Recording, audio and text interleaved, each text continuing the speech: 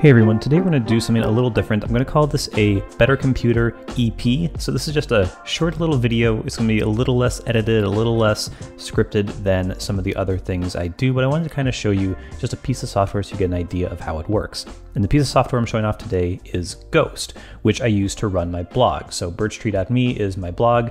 Uh, it actually just had its 10th anniversary, so I've been writing it for quite a while. Um, but yeah, it's basically just it's a blog. So you kind of know the deal. But I don't use WordPress or Squarespace or one of the kind of like absolute mainstream options. I use Ghost, which is pretty mainstream as well, but uh, not everyone has used. So I wanted to kind of take you through the admin panel for how it works and kind of some of the things I have set up with it. So to get to it, you just go to uh, your domain slash ghost and I'm already signed in, so it just takes me there. And so I just see my website with this little sidebar. And so the first thing you can do is go into your post history. So these are all the posts I've written before. Uh, you can just kind of see them all, and you can filter by what sort of posts, authors, tags, uh, newest, or whatever. Um, and then it'll put drafts and everything, scheduled ones up here at the top. And so one of the cool things you can do here is you can actually search. So it's just a list. Um, it's actually not as powerful as I kind of wish it was, but if you want to search for something, you hit Command K, and that brings up this search. Uh, so it's Control K on Windows, just so you know. Um, but let's do, uh, this one's gonna have a ton of results, but I'm just gonna search Apple. And so here's a whole bunch of posts that I have here. Um, and let me just like click into one. And so that takes me to the edit page for a post. And so this one isn't super Exciting is really just text, uh, but you can go over here and hit the gear to add an image, a featured image. You can change the URL, uh, when the publish date was, any tags, excerpts, um, all this stuff is right over here. And so I didn't really use any of it there, but you can upload uh, from your computer, or you can click this button to find Unsplash images. And of course, you can uh, search for Apple stuff here and then add that uh, insert the image, and now that's at the top of your post. I'm not going to do that because I don't really want to make a change to this post, but that's how that works. And when you're in here, uh, you can just uh, make a new line. And so I can just type here, but I can also hit this plus to add an image, a markdown block, HTML block, gallery of images. Um, all this stuff works, and then there's some embeds that you can do. Uh, one of the nice things is that if you have like a YouTube link, you can paste it in here and it'll automatically expand it. You won't have to like select YouTube, click this, paste it in. Now, if it's just a YouTube link, it'll know what to do. So that's how the post editing works.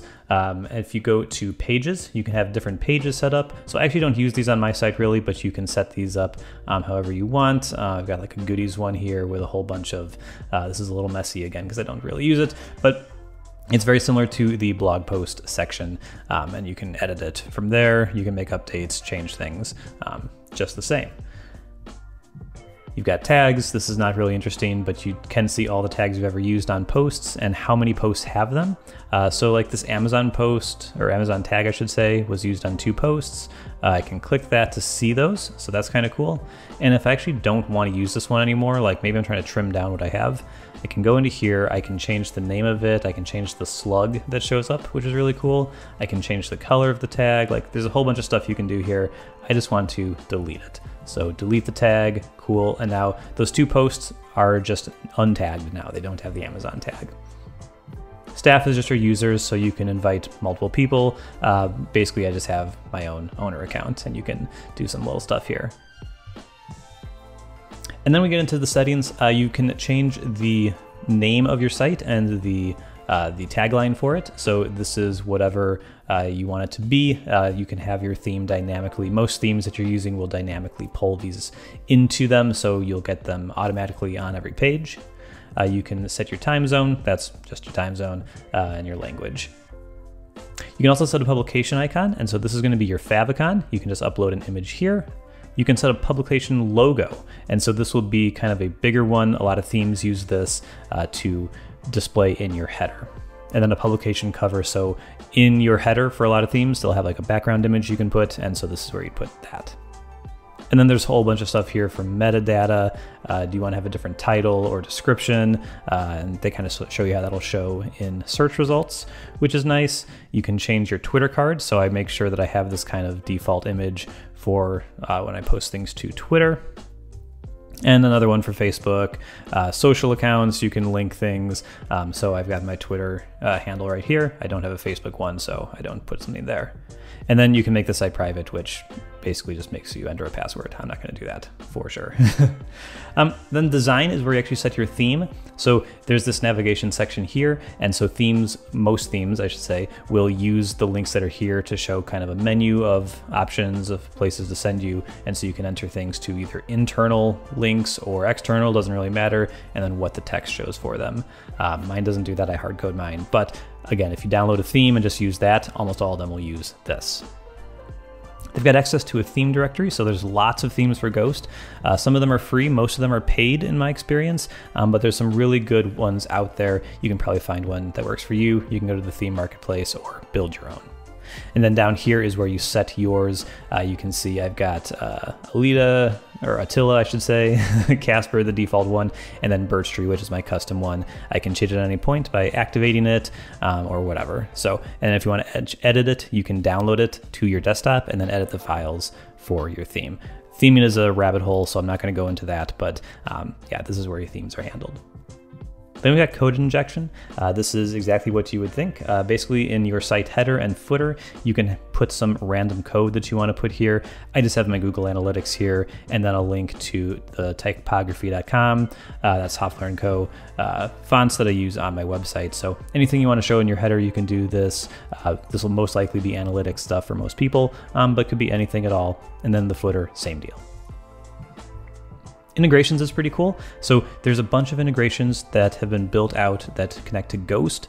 Uh, so for example, Zapier is one that I use to make sure that uh, you can kind of see it here. Uh, whenever I, oops, probably don't want to share that. Um, I'm not going to share my key, but basically whenever I post, I have it set to Zapier. So Zapier will actually post the link to Twitter for me, which is great. You can do the same for Slack, um, Unsplash, and all these. So that was actually why I saw that option for Unsplash in the featured image section because I have this turned on.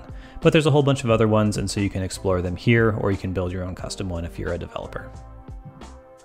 And the final section we're going to take a look at today is the labs features. So there's some cool stuff here. There's actually this icon here that'll set it into dark mode for you. So then your whole admin UI is in dark mode, which is pretty cool. I actually like it in light mode. That's just me. Uh, but you can enable members. So there's actually quite a bit here you can look at. Uh, but basically lets you set up a way for you to set up email subscriptions and uh, private posts that are only available to members. So if you enable that, uh, let's see what happens. Yeah, so you need to connect it to a Stripe account, you need to set some pricing, and so there's a, a bunch of stuff that you can do here. But if you want to have some exclusive content that people need to pay for, you can do that with members.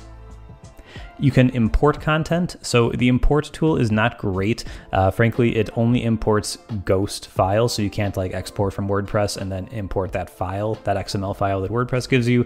You actually have to use a tool that'll convert it, that WordPress file to a ghost file. It's kind of a pain. Uh, I'll try to link to one in the uh, show notes that I've used previously that works pretty well, but um, yeah, it's really meant to import from another Ghost installation. And you can export uh, into a single JSON file. Uh, again, if you want to use this somewhere, most places you're going to have to install an extension. Um, for example, if you want to import that file into WordPress, or there are tools that, uh, command line tools, I should say, that convert it the other direction. And you can, of course, delete all content. I'm not even going to hover over that for any longer than I have to because I don't want to accidentally delete everything. And so, yeah. Um, yeah, there's some other beta features here. That night shift is actually, uh, I don't know why the toggle's here and here, but it is. Uh, and then you can do some stuff with redirects and routes, which I honestly don't know that much about, so I'm not going to do anything. But yeah, uh, down here you can see a little bit of other stuff. Uh, what's new, you can see release notes for what's happened recently. This is basically a link to their blog that you can uh, check out here. I think this will open their blog in a new uh, tab. Yep, so that's all the stuff that they've uh, done recently, so that's kind of interesting to see. But yeah, that is a quick preview of Ghost. Uh, for me, it's the right thing uh, to use. Uh, it may not be for you. I think the WordPress is still the best option for most people, uh, but for someone who wants a really light interface, something where I can really customize everything exactly how I want, Ghost works really great for me. So thank you so much for watching this quick video or not so quick video, but uh, this first uh, A Better Computer EP, and I hope you enjoyed it. Uh, if you did, hit that thumbs up, you know all the things. So thank you so much for watching. Bye bye.